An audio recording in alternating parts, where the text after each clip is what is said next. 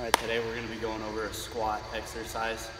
The joints involved are gonna be the hip as well as the knee. The hip will be in hip extension at the concentric part of the exercise as you're coming up. That is hip extension.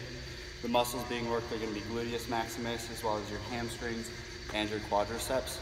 This is gonna be performed in the sagittal plane, which is why we have this angle right here. So now I'm gonna demonstrate this.